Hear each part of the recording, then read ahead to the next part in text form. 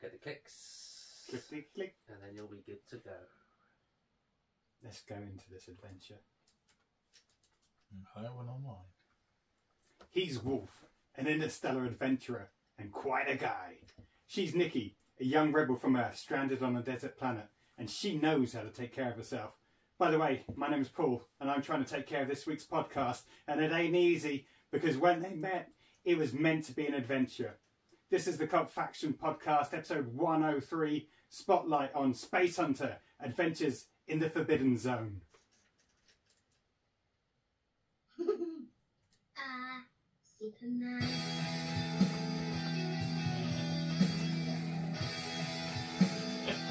It's a bit loud. Very loud. I thought you were going to But hopefully when you're home, it's perfect. Burger. Yeah, I know. Yeah, that's what I thought you was going to But it didn't go I know. with adventure, and also the fact that I had an inkling that he didn't like it, so I had to change it slightly. Gave you that idea. Freeway.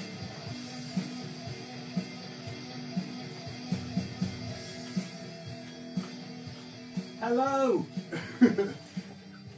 Oh, I don't know whether it's going down in volume or not. Hello and welcome to the Cult Faction Podcast, episode 103, where this week we have the spotlight on a 1980s classic, Space Hunter Adventures in the Forbidden Zone. I am Paul Hawkins, your host for this evening, and as ever, I am joined by Brett Summers. and. Damien Hicks. Hey! We're all here. We're all here. Yeah. We're all ready to play. Okay, we are talking, or we are going to be talking about Space Hunter: Adventures in the Forbidden Zone, one of the longest um, film titles ever.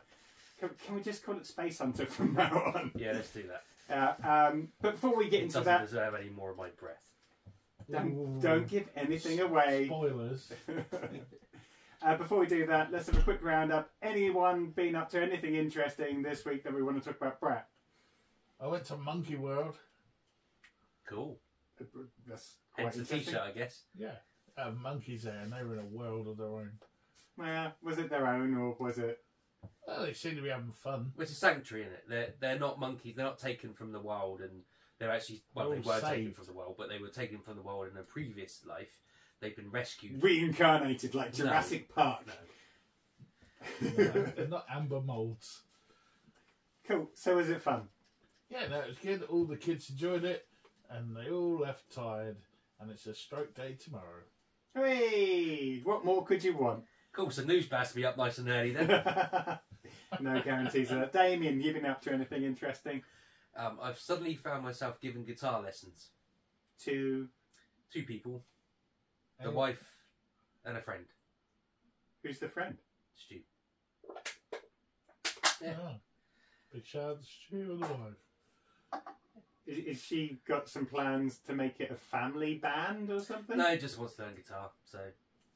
and I'm- Hey, we've all I- been and through that know- phase. I need to learn the patience of a Guitar. teacher. you need to learn Because it's- patience yeah. by Guns N' Roses. No, you don't need to learn that. It's very simple. poor road about to show. Uh, other than that, not a lot really. Cool. Okay, yeah, not, nothing worth talking about No. for me. So let's go into what we've been watching. I'm going to come to you first, Summers. Okay, I followed your advice and the advice of my girlfriend Kate, hello, and watched Thank you, Miss Patson. because you both said this was. Oh God, I'm trying to think think about about what I suggested now. Uh, Don't worry, darling. I said give it a go. See yeah, what you think. The um, Harry Styles, Florence Pugh, directed by Olivia Whoa. Wilde. Florence Film. Pugh, Harry Styles. Let's get them the right way round, shall Yeah, I think that's fair enough. Yeah. Anyway. no, it's fair enough, but he's first on the poster for something in the picture.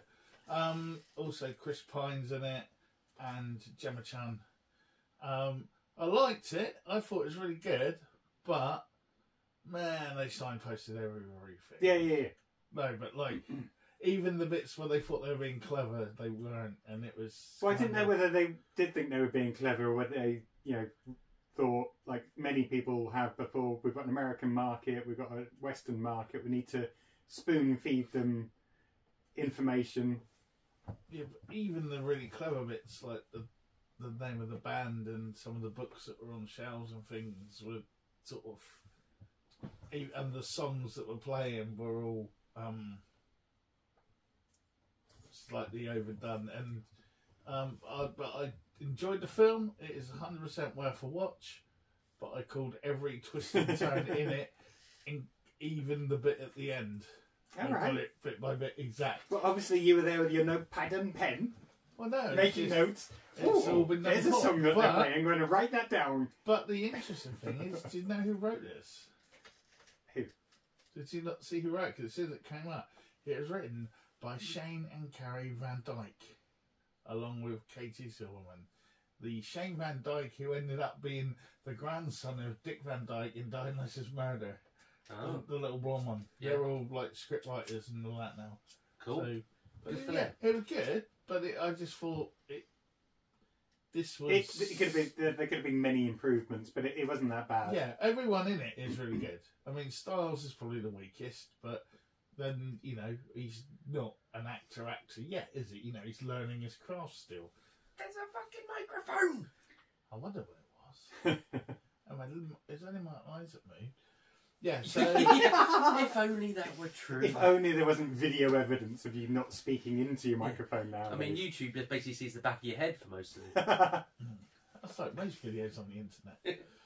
okay, so that, that's one. Damien, let's move to you because I'm never sure if you've got many things to talk about or. or I have very little to talk about. Okay, well let's For move. for, uh, as per my previous conversation, I've been catching up, or rather, Sarah and I have been catching up on Van der Valk, Oh yeah, which is the reboot of the uh, 80s, I guess, um, detective Who drama. was it originally? Amsterdam. I was trying to think this the other I don't know, no idea. It, I mean, I, I want to say he was just some old grey-haired dude, but he was probably about 30, just like because obviously it was the 80s, we were a lot younger. Um, yeah, so yeah, it's just a conti- uh, continuation of, of that reboot. It's um, Marc Warren is playing the titular Piet van der Valk. Um, they fixed a few issues from the previous season or two seasons, I can't remember. Um, some of the cast have left; they've been replaced with, you know, perfectly adequate um, robots. no, perfectly adequate replacements. But one of the things about the previous season is there's a really, really, really cool um, pathologist. He's like he's quite he's the guy in the film. You know what we were talking about the show Oh, the the week. show, yeah, he was The, on the one that went missing, the James was it his name, Jim or something? Yeah, that Jim, guy. yeah. So it's him. He plays the pathologist. But in this, he's really he's, he's like a drug taking jazz aficionado and a bit of a lady. He's just an all round cool dude. But out of the entire like three episode run of each season, he probably gets about ten minutes. Right. They fixed that. He now goes on their adventures with them. It's brilliant. He's been upscaled. he's been up. It's like he's now pretty much like a, a Nicky in um, Silent Witness. So he's out there solving the crimes as well, instead of just turning up to say there's a bloodstain on the knife. Now, is he going to get his spin off? That would be awesome. and the other thing is, they're, make the the thing they didn't do in season one or I can't. Remember, I don't know what number season this is. It might be three or it might even just be two. I can't remember. Um, they didn't really make the most of the fact they're in Amsterdam. Right. So you know, like So now, the, now yeah. he can really enjoy his pot and No, no, I don't and- mean that. Yeah. But you know, when they do these regional Nice. um, detective dramas like Vera or Yeah, yeah, yeah. they they use the the the place they're set becomes part of the character. It's the character, Yeah. isn't as, as Like- much of a Like Death and Paradise. for yeah, instance. exactly. That, but they didn't really do that before. It was almost always almost in Yeah, the yeah. building, if you like. Yeah. But there's more out, more going on outside. More canals Can, yeah, a lot more canals. and bicycles. But it just gives you a better feeling of where they are because it's supposed to be Smoking set in pancake. Vanderbilt, in Vanderbilt, No, Van der Valk. in Amsterdam. Uh, so that I think that's the only thing I've watched. I mentioned um, the Yellow Jackets last week, didn't I? Yeah, Yeah. you normally mention that. Mhm. No, I don't. 'cause I haven't watched it. okay, cool. So I watched last. just, can't- it's just itching to just. It's all about him, isn't it? No, you said you've only watched Well, one he's thing. You didn't give me a chance to like actually say, "Yep, that's me done." Oh no! I'm just trying to keep the pace Yeah, going I got for our cut viewers and our Yeah. I, I listeners. got cut off as well. I was just rolling with it. Okay, so what's the last episode of The Silo on Apple TV? Yeah, you said that last week. No, it didn't, Yeah, you did. You did. because it only just dropped this week, last week. So I only watched it over the week on Friday. Yeah, you did. Mm. You did. I watched what I thought could have been the last episode, but it wasn't the last episode. It's definitely the last episode now. Is it worth watching then? Does it pay off at the end without Yeah. spoiling it? Yeah, yeah, yeah. It absolutely does. Not going to spoil it. Um, but yeah, looking forward to Just in season case. two because we know there is going to be a season two. Yeah. Um, staying with Apple TV, trying to get my money. Um, hijack. I Oh, just- yeah, I want to watch that. I looked- uh, But I saw a bit of it on Gogglebox. Yeah, I did. well, they've told us the first episode. Yeah, basically. exactly. Yeah, so this is Idris Elba. He plays negotiator. He's on an aeroplane trying to get back to his estranged Uh, wife that doesn't want him. Yeah, Um, and lo and Didn't behold, get that from Gogglebox. there's a hijack on the plane, and he's trying to defuse situation and negotiate terms and conditions. Or is he? Have you just ruined the cliffhanger for the end of first episode? No. Are you sure? Yeah, because we find Hmm. out that he's a negotiator. What in the first episode? Yeah. Okay. It wasn't mentioned. It wasn't Gogglebox. mentioned on Gogglebox because it looked like he goes. I don't care about any of this. I just want to get home. Yeah, I yeah, want to yeah, help. actually, I don't give a shit. He Yeah, actually said and then shit. it ends. That see, that episode ends. Anyway, first two episodes. No, Here we go. Here we go. the first three episodes are now available on But- Apple TV. and the pilot is the British guy who was the doctor in that one on the Yeah. beach. wasn't he? Yeah. Oh, he's been he's, he's an Yeah. all-round sort of proper character actor. I'm He's sure like he coupling and did all a, sorts. yeah, coupling. I'm sure he did a Fools and Horses, but I think I'm No, thinking you're of the, thinking the of, woman in coupling who was Groovy Gang. Yeah, yeah. Because Yeah. well, it's fact he looks he does look quite now. He looks a lot like the Yeah, other yeah. uh, courier.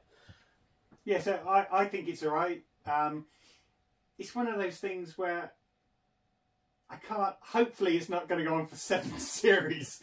Um, It's a long flight. yeah, it could have just been a film. Uh, All I need is halfway through. He says, "Always bet on black," But so far, so good. which Brett, was coming back to Passengers you. Fifty-seven Wesley Snipes before Yeah, I know. anyone tries yeah. to cancel me. I was quoting a film. Back that to you. may be similar. Back to me. I have watched episode two of Secret Invasion, the Marvel limited series or special event, whatever you want to call it. I watched the first one. It's alright. As I say, it's building up. It's a, it's a Yeah. tension thing. They're trying to do a. It's almost a bit twenty-four like. I think. I think they're trying to sort of the espionage. Who do you trust and and all that. Um, there's a bit of a cliffhanger at the end of this episode two, which yeah, if you paid attention, it would be a cliffhanger. I got to be honest. I'm not that fussed about going back for episode two, so I'm going to let you continue to watch it, Oh yeah, no, I would. I and then maybe it. tell me if it's actually worth it. It's just it just at the moment it just reminds me of Twenty Four, where it's just frustrating because you just want to watch it, all of it. Where you got to wait now because you get that little bit. They feed you that little bit, then you got to wait for the next one, and then the next one. But it's definitely Samuel Jackson. Um, I think they've like, you know, show whatever range you want to show in this. And he's like, now I'm angry, now I'm emotional, now I'm there. And it's kind of, I think they're doing a bit of that with him. And also you're getting, you get a lot of the flashbacks to the sort of 90s Captain Marvel era where he's got, you know, like before he had the eye patch and all that. So you're, you're getting a bit both, so to speak. Okay. And uh, yeah, it's, it's doing alright, but people will moaning, but they will. Anything else? No, that's been about it for me because then it was um, Money in the Bank live from London at the weekend, so I watched that because it's nice to watch WWE at eight o'clock and not three and not three a.m. So you actually made it through the whole lot, yeah. Yeah, what didn't fall asleep. Cool. Okay, so carrying on with Apple TV, The Crowded Room, um, with Tom Holland. So, Spider Man. Huh? Spider Man. well, apparently he does other stuff as well. Uh, this, this being one of them. Um, so he plays a kind of, um, teenager. yeah, gets kicked out of school, well, kind of runs away from school, ends up living with this is- Auntie. Israeli. We're not quite sure what he does, but no one messes with him. Otherwise, he messes them up. Um, there's been a couple of murders. Police are basically questioning him, think he's guilty, or think that the Israeli and his flatmate may have done it. It's all right. it's it's weird because he yeah the, the character he plays is really greasy and slimy, and um, a bit Peter Parker Parker esque in his way that he's not very good with girls, um, doesn't really know what's going on, um, but it's okay. It's a, it's a bit different, and you know, it's got serial killer potential vibes going to it. And, I, and I'm trying to get my money from Apple TV, as I said. Um, because I was bored and on my own and wanted an action film on Sunday, I downloaded Fast X. Uh, well, it is what it is. You know, it's lots of cars, action sequences, and is that the one where they end up in space? no, no, that that was the the last one, I think. So it, this one's just being released for for streaming. It's okay. It's not gonna, you know, it's not gonna break a genre. Let's put it that way. Um, and and Do you think it's just because everyone's got ADHD now that these films are cool? I don't, I don't know. I don't know. Uh, I can't, I can't. I've tried watching some of them. I can't even get a fun enjoyment. You know, like it's so shit, it's funny kind of thing. I Oh no, even there, no, there's definitely one of them that is. That um, I think it's the one before the space one, where they're they're literally driving cars in uh, out in um, Middle East somewhere, and they're going from one skyscraper to another, and it's like, yeah, that that's so shit. It's actually quite funny. Um, the whole space one, no. Um, but yeah, it's it's okay. But they they deliberately ended it on a cliffhanger, so there's another one. They, there's no closure to this one, so they obviously need more money, um, bigger paychecks. I I think mean, as long as as long as they're making money, they're not going to stop. no, exactly. Oh yeah, it's And you know, it's got and it's definitely got a fan base. I mean, there's like 10, 11 movies and and a spin off. Wasn't there a yeah, yeah, The Rock and Jason Statham did a spin off one as well, Yeah. didn't they? uh, and it's got all the stars. I mean, these are big name stars in it. Like Gal Gadot, I think only pops up for a couple of seconds because he's in the, the, the next one, no doubt, in, in more. Jason Momoa is okay. He plays a kind of a camp uh, killer. Um, he does it well. Um, but yeah, as I said, it's it's not going to break any dramas with this one. Um, and the only other thing that I watched, just because it started playing, and it was ding, ding, ding, ding, ding, ding, ding, and I watched the whole of Footloose. Um, I was literally only switching on for a couple of minutes um, and ended up watching all of it. That is the original, not the 2000s Yeah. remake, obviously. The, the bacon. Yeah. Bacon be thy name. Mm. And that's me done. Oh yeah. There you go.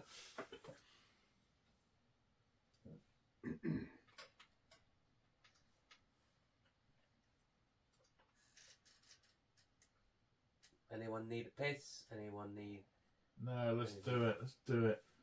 Doki? And we'll be done by 10 if we make a start mm. Oh. now. I don't think Damien wants to talk about this too long. I did make try and make the paragraphs as even as I could.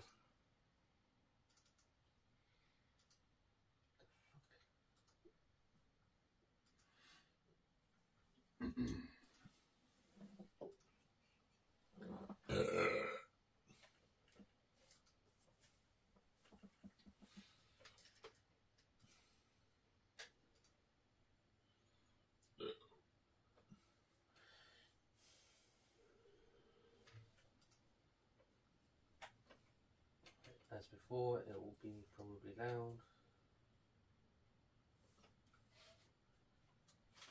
Come on, you Arthurs.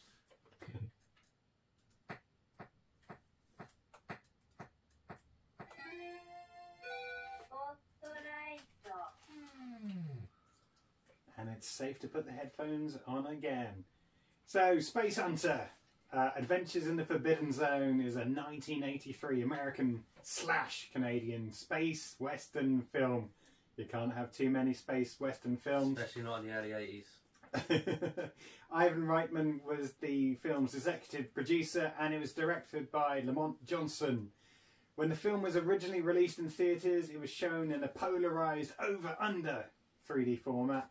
The film became part of that kind of 3D revival craze in the early 80s uh, and was released just before Return of the Jedi.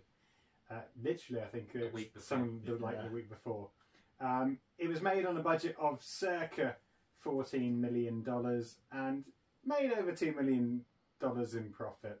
Um, and whilst not a major box office smash, it still became a home video star. Made more profit than some films recently. Uh, and for a change, though, I don't think it was nominated for a Saturn Award, unlike uh, most of the films that we talk about.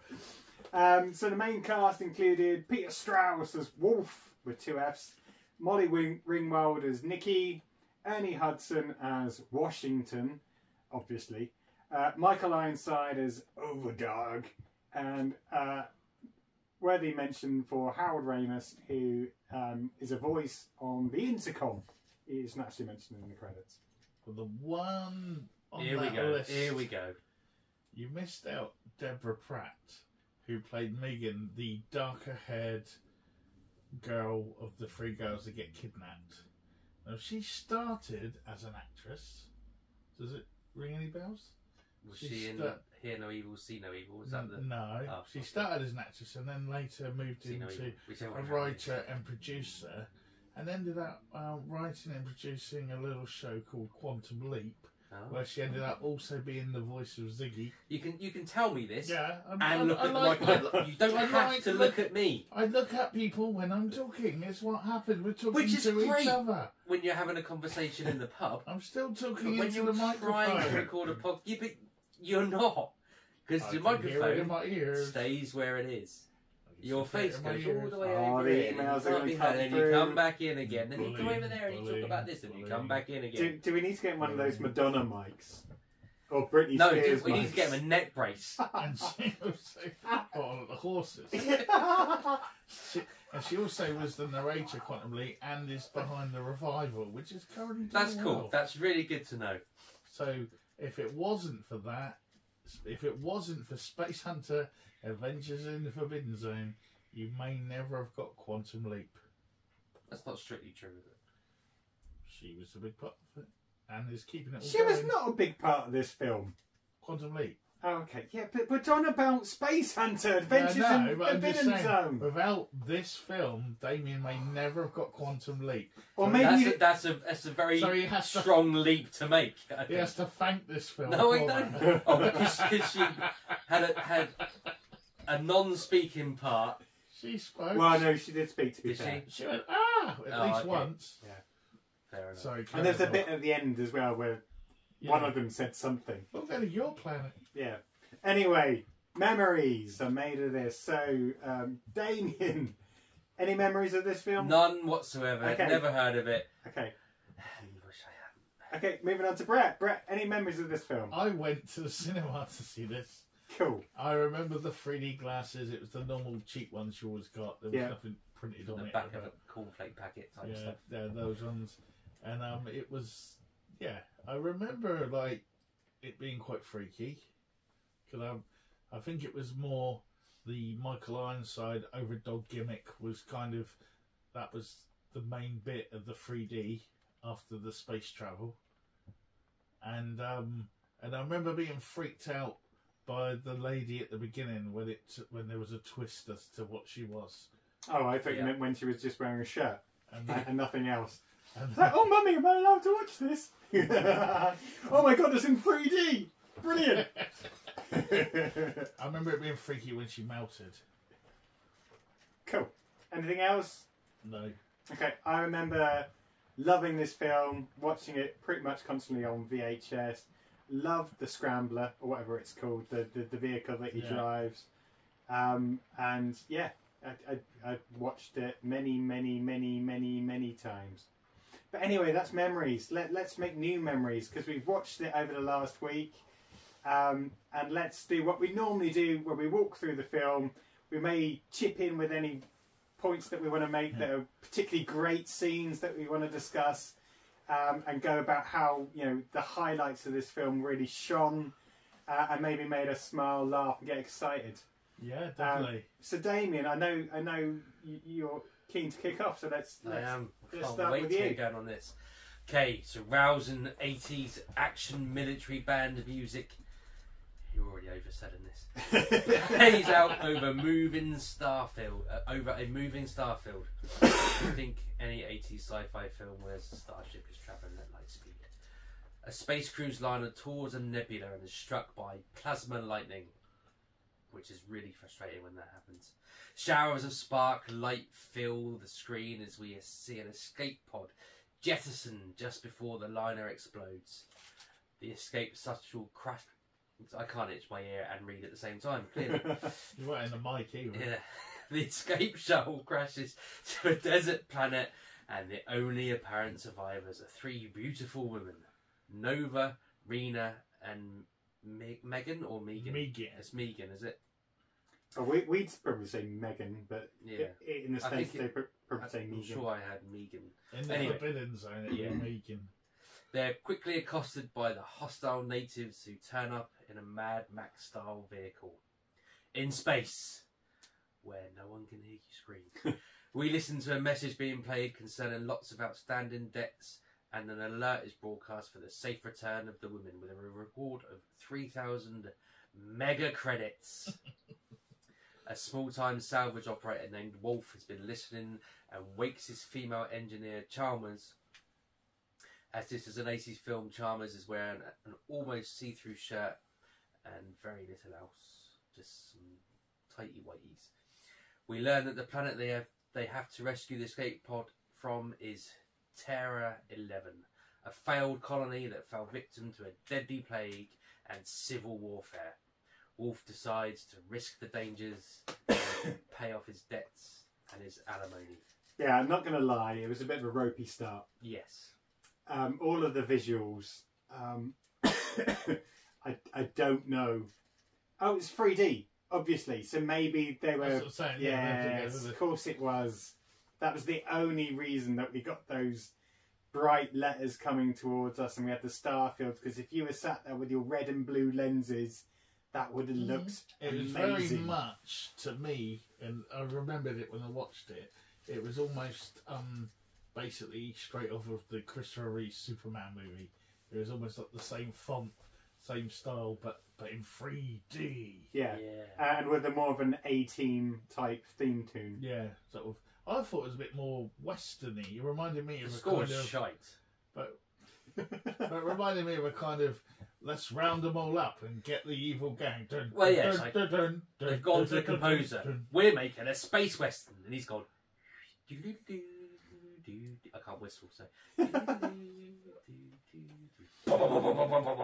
That's what he's got. That's what he's done in his head, But and then expanded on it. but this was like we said. This is a week before Return of the Jedi.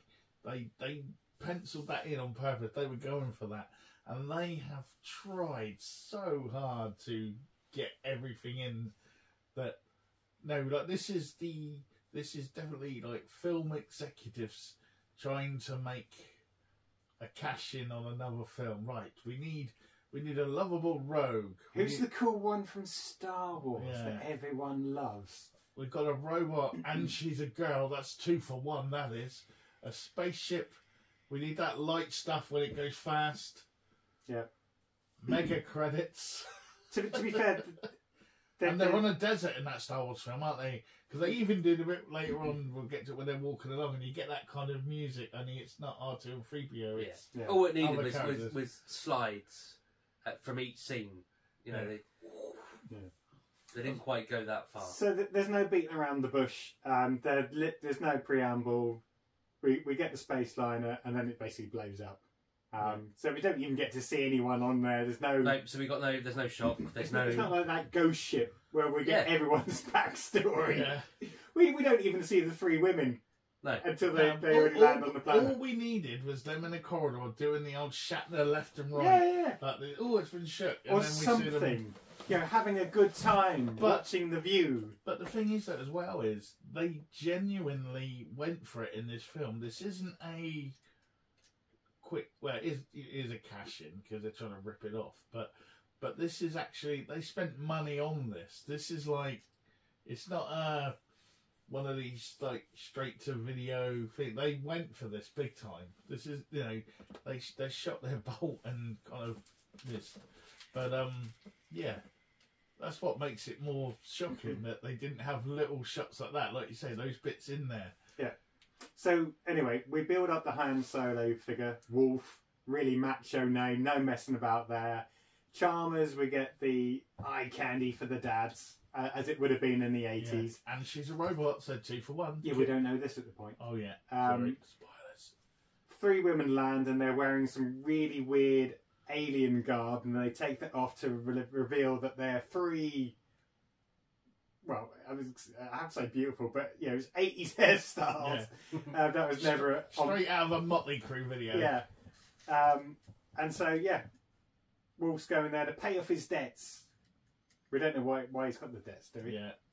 There's a long list. There's rent overdue. Well, Yeah. There, his wife's Oh, ex-wife has that's been right, his for ex-wife, money. yeah. There's something else I can't remember. He's a rogue. I'm Yeah. surprised he got married in the first Mm. place.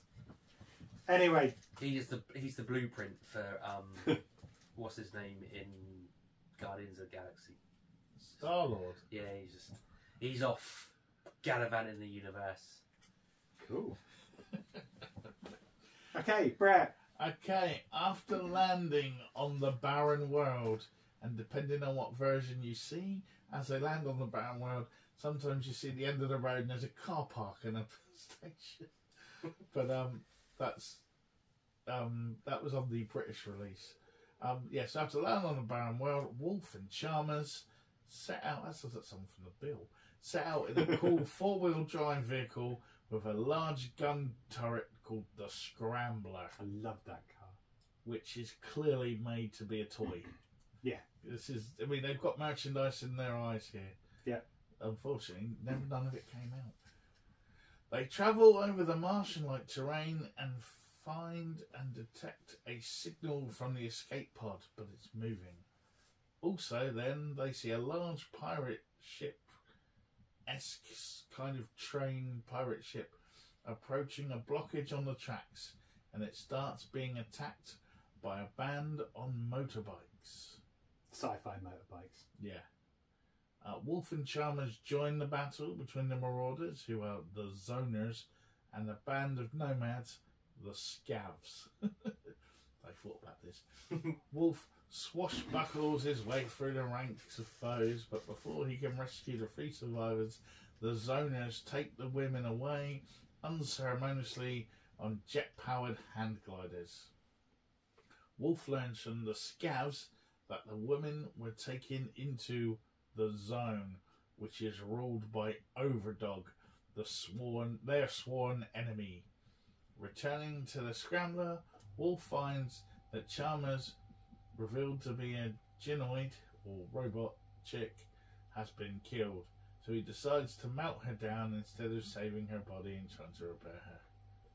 Yeah. so we get to see the cool Yeah, car. you could have just put some circuitry back together. Yeah. together. Well, yeah, that, and that's what I was thinking. It's like, no, it's you. And I think So that that's was just the, the self-destruct mode. Yeah, and I think that was probably the most expensive shot in the movie. Yeah. be half as better to like go save. What I did like that, just remember when they landed, you did get a bit of Overdog's backstory. They said that I've forgotten his actual name now, but they went, "Oh, it's General so so Overdog," and he was Oh, did the they say that? Because I was going to say it. I was going to mention.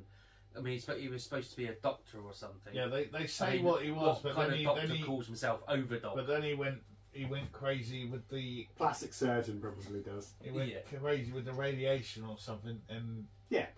But they do. It's like a one sentence sort of thing. Oh, right. I clearly missed that. Okay, But, so, um, so let's talk about what I thought was some of the positive. The vehicles, the the, the amount of money spent on that ship thing Positives. train. Um, I thought that was quite good. Obviously, um, Lucas saw or must have got word of this because hey, that that battle, um, that swashbuckling adventure, straight out of Return of the Jedi. The R2D2 sound is used in the film. I can't remember where. There is an R2D2 bit where it, and it's the sound. It's R2D2. um, the kidnapping where the girls are taken off on the um, hang gliders is quite obvious that they are just stuffed dummies Yeah. as, as they're just swinging along. It's very. That would that reminded me a bit of Krull You know, when Yes. they steal her from the wedding and it's sort of off she goes and doesn't really serve any Don't purpose dare. apart from Mention Krull in the same sentence as Uh, Space Hunter Adventures in the Forbidden Zone. and then we get poor Chalmers being basically disintegrated because he couldn't be asked to repair her. Or sell her for scrap. He's desperate for money. But even No, I think it was a mark of respect. I don't. I'm not going to leave you here to be scavenged. We could have put her in the bloody big car that he's driving. It's Well, not like he's two short on space, is he? but the the what got me of it as well is like she kind of got shot. It wasn't that clear that it was a bad wound or whatever. But that was the thing, they were building up the suspense, you see, until she cuts to the Yeah. right hand side of her face and we can see the circuitry. Yeah, but even if she'd sort of reacted to being shot rather than like. Or something where you thought, oh no, is she okay? Is she going to die? Yeah. or No, whatever. well, and this then is the you thing. get the so shock of, fr- f- throughout the film, the editing is shit. Yeah, I think that kills what killed the a lot of it. Yeah. and it was also a bit um,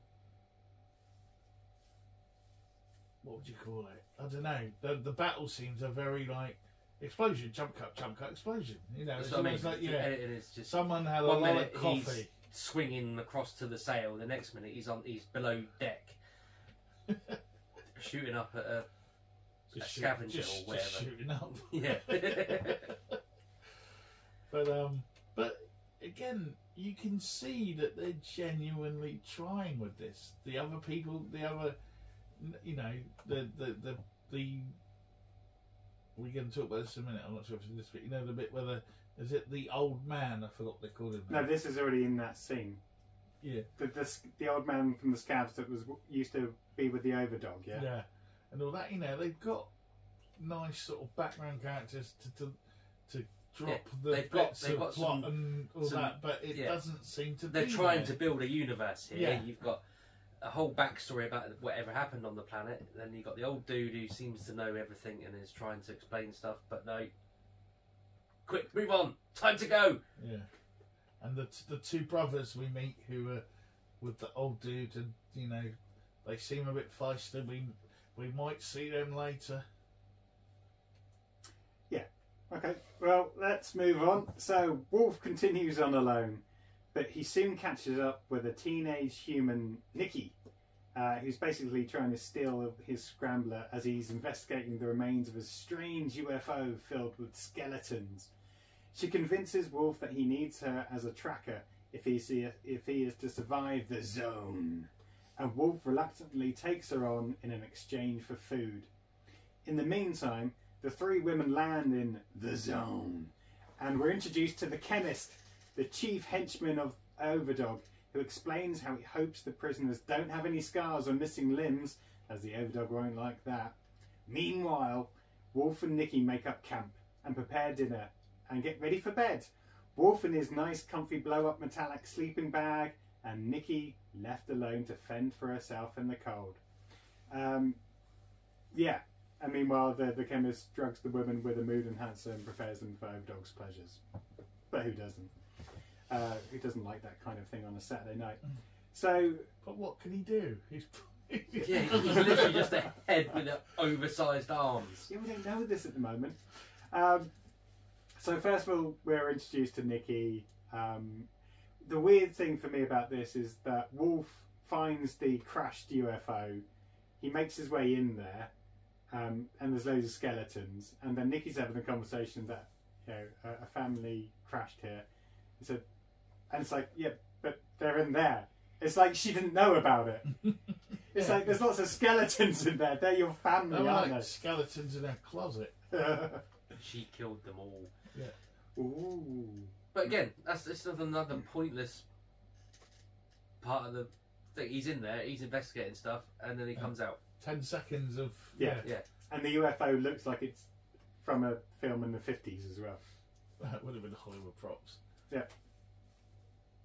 But yeah, but Nikki is she's a feisty one, isn't she? You know, we get a bit of that. She's had to be. She's living on her own in, in, in the in the Badlands, basically. The chemist is very weird and creepy. I like the chemist Well- for what he is. I, I, I don't know. Uh, I, He reminds me of like um the dude Peter, Peter Wyngarde played in Flash Gordon, the creepy kind of, you know, but he had a mask on in that, the black.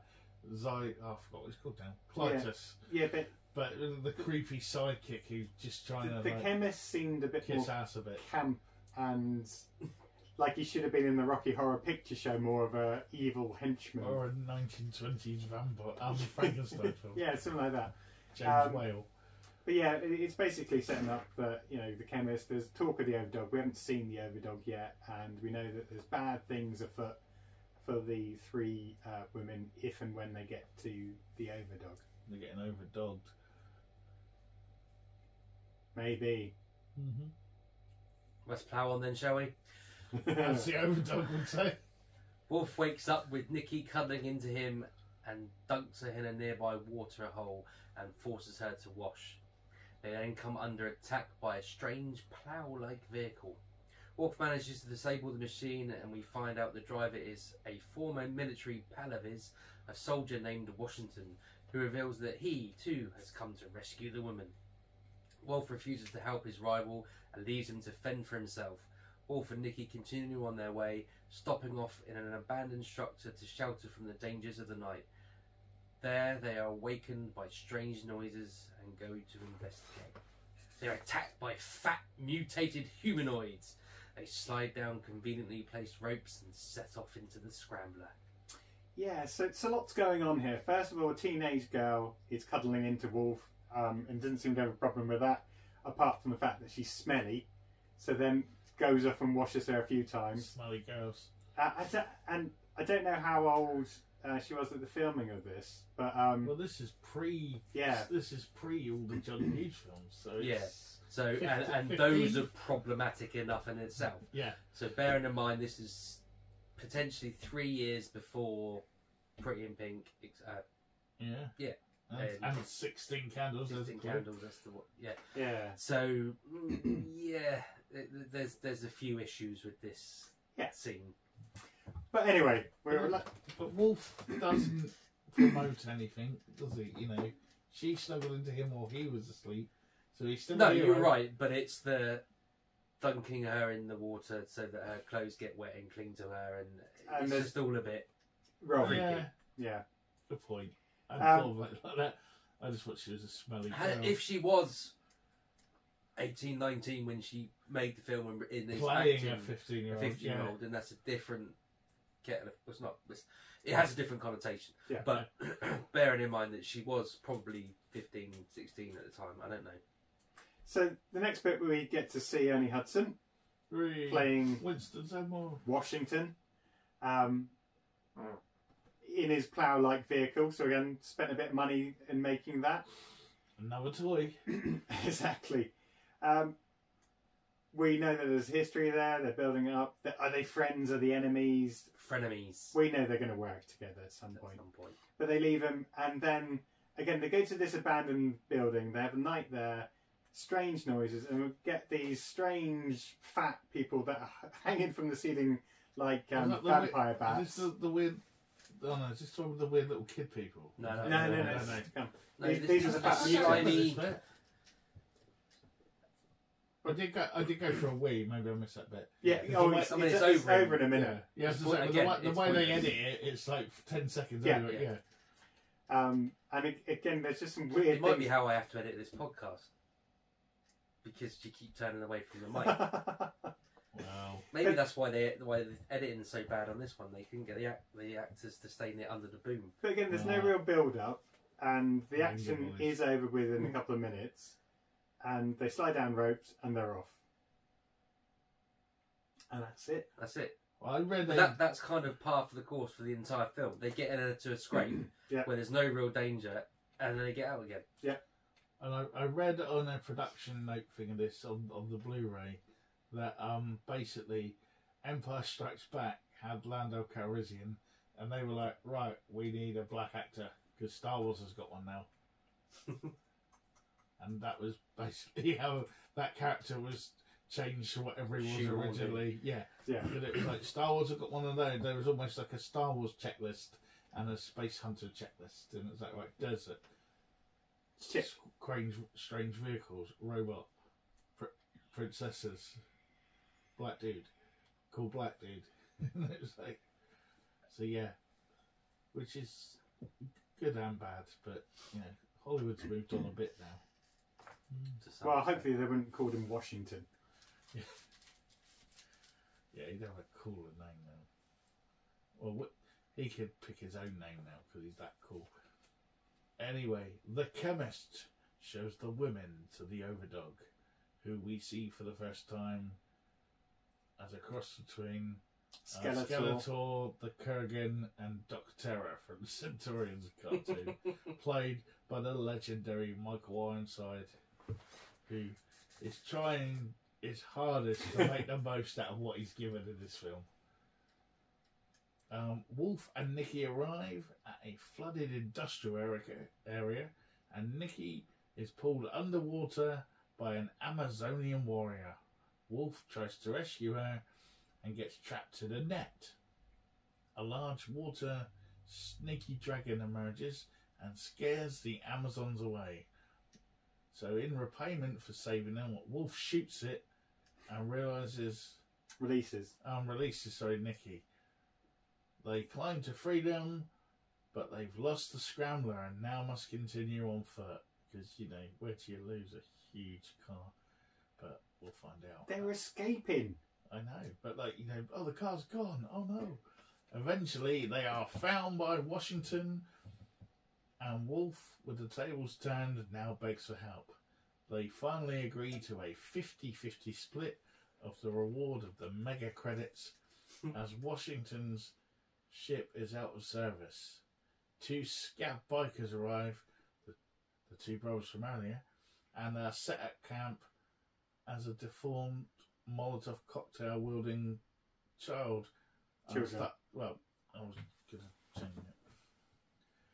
Uh, two scout bikers arrive and they set up camp as deformed Molotov cocktail wielding children appear on the cliffs above them. They start attacking, and Wolf, Nicky, Washington, and the scouts escape in their vehicles in spectacular ways. So yeah, just Well, we see the here's overdog. some jeopardy. Let's talk about the positives. We've got some Jawas. Yeah, we finally get to see the overdog, Yep. and I think yeah they made a good effort of making him look a bit mean. Well, he looks terrifying. Yeah. But it's just the fact that he can't move. He can move. He's just on a big He's on a crane. big hydraulic lift Yeah. type Yeah. thing. Um, and then, as Damien said before, it's another scene where they set up. Look, and the set looks good. Amazon warriors come out of nowhere, and really quickly, Wolf goes in to rescue her, gets trapped. Big snake appears, and then he shoots snake, and then they're off. Yeah. That's it. There's no talking to the Amazonian women really. No, They- no, they no they- finding out their motivation. They What's- they, they could use him for breeding if he could survive it, and he makes. Oh, some he makes some witty quip quip. about that. I'm willing to take that bet or Yeah, something. yeah, yeah. Play, played by the legendary wrestler Reggie Bennett, by the way, the main leader. I did, I did never knew that until then. I was like, oh my god! But yeah, Okay. Um, and then they run off. We get the walking scenes in the like salt lake. yeah. This Yeah. is the R2 3PO rip Yeah. off it with the, almost the same kind of music. Um, and then yeah, we get the scene with the little kids, the little Jawas, um, and they throw Molotov cocktails, but they quickly escape. Well, what I was going to put in as well was the bit about they make that sort of weird Yeah, sort of some sort of whistling weird tune singing before. thing, aren't they? And then because you see one, then another one appears, and then another one appears, and then they're all there, and everyone's like, "Oh, isn't this pretty?" And then they like start petrol bobbing them. Yeah, Again, for no apparent reason. Yeah. I'm guessing just everyone works for the overdog. well, we find out. Yeah, they they Do say they though? I thought. Every, Well, I don't know. That's the only thing I can think of why anyone they meet, or just Wolf is just like such a piece of shit. Everyone just wants Everyone knows who he is. him. Ah, he's that fucking wolf guy. Yeah, so I think it's Nikki that said that the chemist has been experimenting on them, and she doesn't want the chemist to catch her because he doesn't want her to experiment on her. Uh, but yeah, in, in the blink of an eye, they escape. Mm. Okay, so now our team, Wolf and Washington, um, sneak into Overdog's fortress, where they find the zoners entertained by captured prisoners forced to run through a deadly maze of lethal obstacles, hazards, and traps with the Overdog as a kind of a compare slash MC. So it's yeah, it's basically Saturday Night TV, isn't it? And in deck, he's replaced um, with their version of the Running Man. Wolf spots the women. I'm a be- prisoner. Get me out of here. Wolf spots the women being held on occasion forms a rescue plan. But literally, Nikki's been in the um, vehicle for a couple of seconds and gets bored. So um, she decides to snoop around. She's captured and sent into the maze. Wolf and Washington start their sabotage and breakout plan, but Wolf spots Nikki in the maze and tries to rescue her. This is where Nikki has managed to find some new skills and agility and cunning that we didn't know that we had uh, that she had, and she manages to reach the end of the maze. Um, she does get a little bit of help from Wolf's blaster at one point, uh, but she does a lot of it on her own. She Yep. beats most of the other people that have gone before her. It's feisty in this one. There is. Yeah. Um, Overdog congratulates her, um, and whilst he originally promised her freedom, decides he doesn't want that anymore because he's a bad one, and drags her back to his lair. She's hooked up to a machine that's built to drain uh, drain away her life energy, and Overdog uses her vitality to recharge his body. Yeah. I can't believe the baddie lied. Yeah. Yeah. So, Who so knew that was coming? And So- uh, and sorry, it's the bit that made me laugh when you just read it out. You were like, he um, Wolf spots the women in the cage and forms a rescue plan. He walks straight over and lets them out next to Overdog. Yeah. and no one bad an eyelid. Yeah. Oh, we get no, we get a little fight on the bridge, don't we? that's right. Yeah, yeah. Yeah, Yeah. Uh, there, there's yeah, there's some fighting going along. Um, yeah. But that, the guy from used to be on Who's Lines It Anyway. I forgot his name now. Um, he's the guard. I didn't Uh, know. I It's don't know Greg Proops. He's Canadian. John Sims? No, something Sims. Doesn't Greg- matter. Yeah. Move on.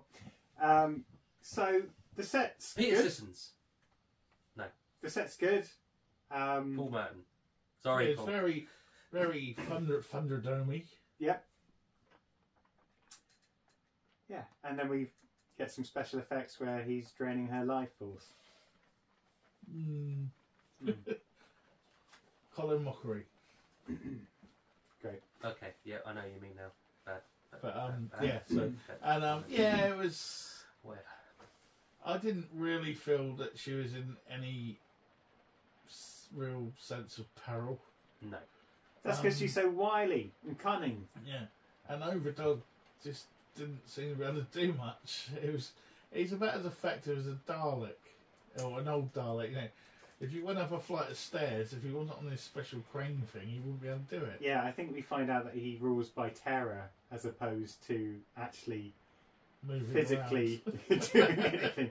And it's more the fact that the chemist is basically turning everyone into mutants that, that's helping him. And yeah, he's got his own guards that aren't very good. They're worse than stormtroopers Yeah, because they don't even fire most of the time. They just more let people come up to them and then, Yeah, most of them all got took out with like one punch. Yeah. Hey, it was the 80s. That's what happened. Yeah. Even in the Forbidden Zone. yeah. Yeah. Right. That's why it's the forbidden zone. Because it's just. Forbidden for throwing two Yeah. punches. Okay, should we crack on? Damien, let's bring this to an end. Tell us how it ends. Wolf comes to the rescue, squashes the chemist, then takes on Overdog, telling Nikki to hang in there. Brilliant. Another great one liner. Mhm. Overdog, and the thing is, it's signpost. You just know that line's coming. Overdog catches Wolf, and when all looks lost, he jabs a sparking power cable into one of Overdog's claws. The power feedback fries Overdog and causes a chain reaction of explosions throughout the fortress, as opposed to a Chanson reaction, which is written here.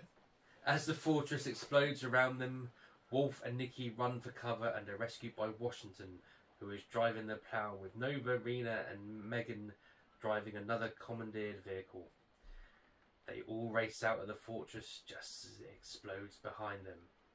Back in a safe spot, Wolf invites Nikki to stay with him, and she agrees since they made good partners. They hug and take off in Wolf's spaceship. With Yeah. everyone else. Yeah. Yeah. Why did everything blow up? Because God he's knows. He's basically attached to everything. So if he goes, If he goes, whole- everything, the whole everything goes. whole house of cards comes crumbling Yeah. down. It's a Got ya. trigger. Ah, it's got like a Yeah. trigger switch. and it looks good in 3D. Yeah, Yeah, yeah, but there's not much of a fight really, is there? Um, there's not much of anything. They kind of, what does I say? Walks in there next to him, and he gets him out the cage thing. and I think I think as I said, that may have been one of um, Overdog's real criticisms is that he couldn't have a real big fisticuff fight because he's got big claws and he's attached to a yeah, big crane. he- like whichever move he's going to make is signposted 20 Yeah. minutes before he makes it. Yeah, and um, yeah, so they get out, and it's quite obvious that Nikki is going to stay with Wolf. Yeah, so we get this elongated. Oh, they're all talking about their adventures Yeah. and what they're going to do. I'm going to go and sulk off in this corner like a four-year-old, where I can Yeah. still turn around and see Emo. if they're looking at me or not. And, uh, and then they hug for what seemed like a really, really long time. I'm guessing she's, Almost, almost a Gone with the Wind moment. she, she's the daughter that he's gonna pay alimony on, I guess. yeah, Well, yeah, I don't hug my daughters like like that. Yeah, yeah. You're not an intergalactic tracker. Space and how do you ranger. get Yeah. That? Uh, I, I mean, I'd be calling social services at this point if I was Washington, just saying, I called him long before this. you, you may you may just need to keep an eye on this relationship, okay? Um, but hey, it was predictable. We know it's going to happen. So, just before we go into um, thoughts, it should be pointed out that a couple of weeks after filming, the original di- director and a lot of the um, crew were basically fired because the uh, production company weren't happy about the, the progress of the film. Um, and, and that's where the new director came on board, and maybe, shall we say, there was a, a constant rewriting and evolution of scripts as as the film went along. You may have gathered some of that from your watching, um, but yeah, I've just thrown it out there. Um, um, so anyway, um, Damien, yes. what did Brett think? So, so, so Brett, coming to you, what, what did you think, Brett? This, I just can't work out how they got it wrong. Because this said. I this can was tell. a s- well, yeah, I can no. tell you. No, but this was a studio-backed project which had a decent enough cast in it, and they were gunning for the Star Wars throne, which we all know is stupid to do, but they were trying, you know, aim high, and they clearly had a, a sustainable enough special effects department for the time of what people were working with compared to other films at the time. And, you know, you got Michael Ironside as a villain, Ernie Hudson's hanging around as the kind of cool psychic guy who knows a bit more than he lets on, and he's probably got a past. Ooh. Um, Peter Strauss was more a Broadway kind of guy, wasn't he, from what I've read? Mhm. and Molly Ringwald was about to become the nation's sweetheart. So they could have, you know, she could have been Princess Leia before she was 16 candles, but for some reason they just had all of these things juggling in the air and dropped a lot of them. And that- that's that's what's the most shocking thing about it. There was even on the production thing on the, the Blu-ray I watched, they even made a making of this as a TV series and had it on America like you could watch the episode before the film came out. But they were pushing this like it was Star Wars, Mm. and then everyone went in and watched that. So it was, you know, it wasn't like one of the, the amount of times we've sat here and gone, if the studio was behind it, this could have been better. They were. They were that. Maybe they were too much in it, like you say. If there were like 800 script writers in the end, and Well, I don't know whether Everything there's 800 script writers or a lot Well, of well, well, rewriting yeah, going yeah, on. You know what I mean? That sort of thing. I don't know, but but apparently Molly Ringwald was happier because when she got the original script, she didn't like it, but was hoping that she'd be able to change it as she went along because she liked the idea, just not her dialogue. And then later on, they did, and she was happy. So again, is it like you say? The editing is a good point. Scott Conrad, you editor. I wonder, is there like do we think there's where we're going to get the the Johnson cut? I no, don't- I don't no amount so of re-editing will make no. this film good. But yeah, it's just something where I don't think there's ever been a film that everyone has actually been on board with trying to make it a hit and trying to make it something good with a decent enough cast and just dropping it so badly. Okay, Damien. It's shit. no, no, no. Seriously, tell us what you really think. The editing is awful. The script is terrible. The acting is woolly at best. It's either hammy, Mr. Ironside, or it's just kind of phoned in, Mr. Strauss. There's no establishing anything. It just lurches from one scenario of supposed jeopardy to the next. They spend about 20 minutes of the film in the Forbidden With Zone zone, yeah. and no time in space. So the title makes no fucking sense whatsoever. Yeah. It's just shit. There you go. Cool. Okay. So I've already explained the fact that you know the original director and a lot of the crew were asked to leave. So yeah, there's the, the, the scripts. Yeah, were a bit um, fluid. Um, Variety at the time um, so called it a muddled science fiction tale whose editing prevented audiences from enjoying the well shot action scenes. However, I didn't think the action scenes were that well shot. Um, Well, they probably were. That's the point. So you, you, know you what I said to see, earlier. to see how well shot Yeah. they Exactly, were. no, You know, exactly. the pirate so- ship thing. He's on the pirate ship. He swings across. He lands on deck. And the next minute, he's down below deck shooting up at people. That's why the editing makes it so shit. Yeah, 'Cause- but but as I said, we'll never know how much footage there was and whether it was just editing or whether it wasn't actually shot properly. Um, there was one nice bit in it where we actually found that you know that the whole laser blasters are useless if you've got a mirror. Oh yeah, Yeah. Um, I, I can see why I really loved it as a child because it is just action sequence, not Yeah, much right, going on, Actually, not that was much it. dialogue. Next action sequence, not much dialogue. Next action sequence over, Is that? Yeah, maybe we're looking at and this cool wrong. and cool spaceships. Is and, this, is and- this basically you, you you've just reframed this for me, Paul, in what you said? he's had a revelation. No, but is this basically it's for kids. like- yeah? Are they? Is this just some sort of Power Rangers in space stuff where there, we don't need a sound shot? We just need explosion, fight, explosion, fight, jump Bad around, guy, do cool, that, cool, cool that. There's cool, a cut, cool action f- figure. but there's too much of the trying to make a plot, though. I think to throw it off as much. And, and either way, So we think that maybe that's what the studio were going for. That's why they wanted a You're kids just making franchise. excuses. You're making excuses for a shit film I'm just trying to work out how they dropped the balls about it. well, Yeah. because they hired the wrong people to do it. Yeah. so I, Peter I Strauss, is it Peter? yeah. yeah, yeah. Peter Strauss just not right as a space ranger anti-hero type rebel. It doesn't fit him.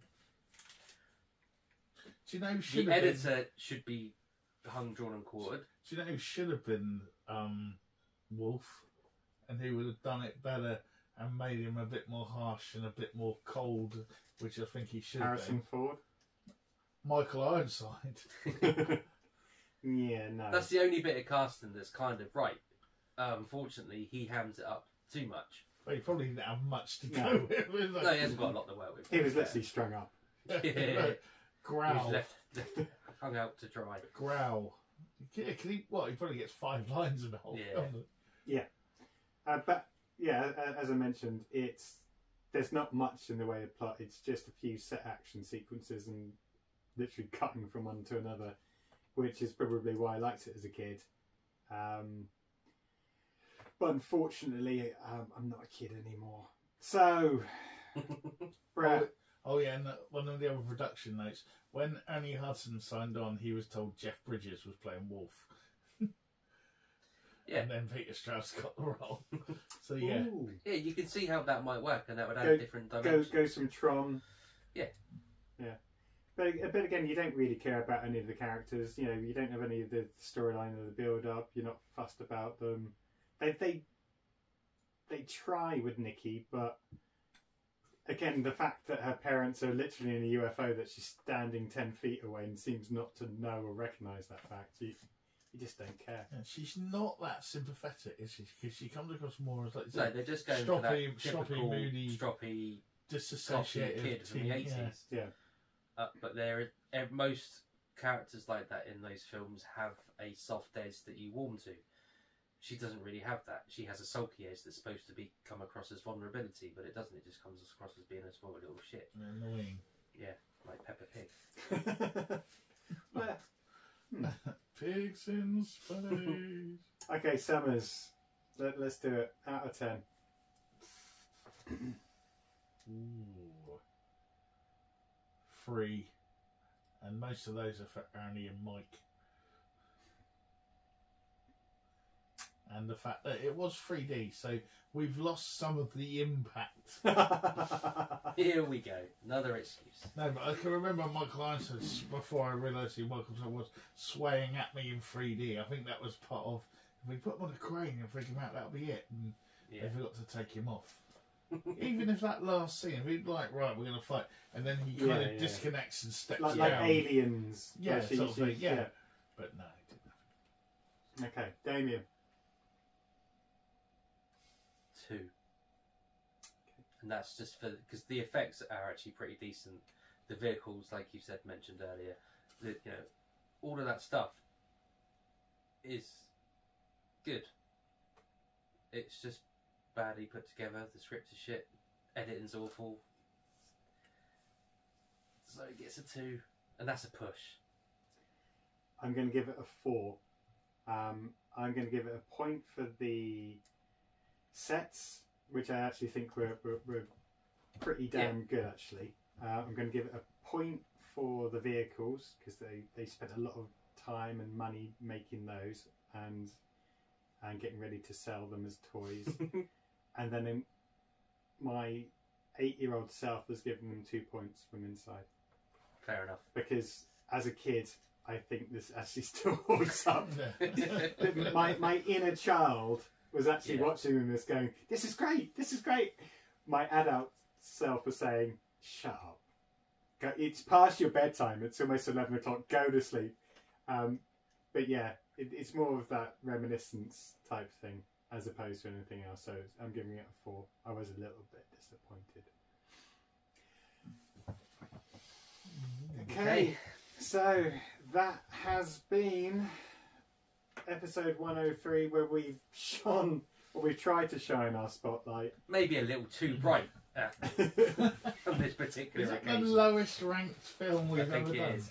I think what I'm gonna have to do is is give you all give you both like a chunk of podcasts to listen to to write down the scores because I just can't do it.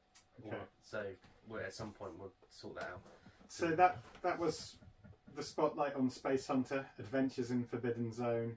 Hey, but you know we've watched it and critiqued it, so that maybe you don't have to. Apologies to those listeners and viewers that watched along Yeah, with you us. can't get a refund if you bought it on Apple. I'm sorry, we're not responsible for the payments. So hey, maybe you do have a small child that that would be um, enjoy it, uh, find this film enjoyable if it's if they were actually living in the eighties still.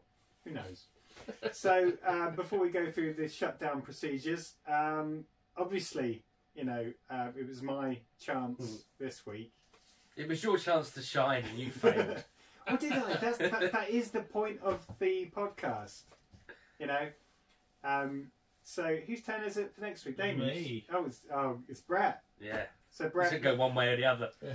Mr. Well, Summers, what what are we watching for I'm, next week? I'm going to give you a choice because I, I, it was a choice of two, but now I've got a choice of three. So, because I was trying to. Are you going to tell us down. one, two, or three? And tell Well, us- what, no, no, what I'm going to do, there is a horror-ishy one, a Mm-hmm. sci-fi, and a sort of revenge thriller. I can't take any more sci-fi. Not after this week. Is it a good horror? Have you seen this film recently? Yes, It's uh, very very good. I wouldn't. I, I, I wouldn't mind a horror if it's good. I'm not for that. As long as it's not sci-fi, I can't take any more adventures in space that aren't in space or in the Forbidden Zone.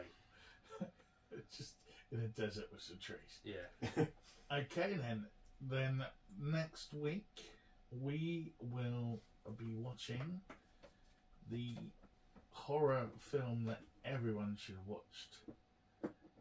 It's called Behind the Mask: The Rise of Leslie Vernon, Oh yeah, cool. I've seen this. and it is Did we talk about this? Yeah. Well, I say a while, a little while ago. It was probably two years ago now. Yeah, and it is done. Uh, I think it's okay. It's done as a kind of, I guess, documentary, but a, Yeah. or a mockumentary, if you will, about this woman who's making a documentary on serial killers and horror killers, and it unfolds through As it unfolds. What's it It's available on Amazon. You can rent it for four forty. Well, on Amazon now because it's. Oh, was it on Shudder originally? it's because Yeah. it's been so long on amazon there is a like 10th anniversary edition now 'cause it's, and um but you can rent it from 349 although when you click on it oh 449 in hard high definition Okay. and you can buy it for 8.99 and on all the other various platforms you can pick up the dvd for about two quid on ebay as well if you're that worried but um yes behind the mask the rise of leslie vernon um it featured uh, directed by Scott We Glosserman. don't need that. We don't need this. That's the point of next week. okay Okay, yeah, I, I think I. I only watched it last year, but I don't mind watching it again. Oh, that's very enthusiastic about Well, yeah, I, I, I thought he was going to pick one from the 70s or the Oh, 80s or something. okay. Yeah, but Disappoint- Now you wish you'd gone for the revenge. I do, yeah. But hey, we- we've got that. That's issue. right, It'll it'll, come round. it'll stay on it'll Yeah. stay on the list Cool. Cool. Okay, um, so time to start the shutdown procedures or whatever we call it. Um, so this has been 103 Spotlight on Spacehunter Adventures in the Forbidden Zone, the longest film ever made. That title, that is. I was going to say. Yeah, uh, I've been Paul Hawkins. Thanks for listening or watching on YouTube. As always, we are available on multiple streaming services, pretty much everyone. But yeah, thanks to all our YouTube li- uh, watchers that, that seem to be enjoying the content. yeah um, don't forget to check out the mothership for more content, reviews, links through to news items, all that kind of good stuff, which is Brett. cultfaction.com or click in the links Yeah, that's right, and subscribe. and subscribe and add and share. Yeah, a- and if you do have any comments, obviously you can make those on all the different streaming services out there. But if you want that more personal touch, then you can use the old fashioned way of emailing with our email address, Damien, which is cultfactionpodcast Faction Podcast at mail.com. cool. And I've been Paul Hawkins, your host for this evening, I've been joined by. Brett Summers, Damien Hicks. Thanks for listening. Overdog. Thanks for watching. Goodbye. Farewell.